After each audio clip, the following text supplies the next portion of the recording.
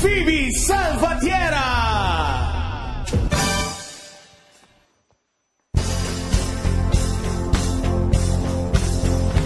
Live a lifetime of promises in a world of dreams. Speak a language of love like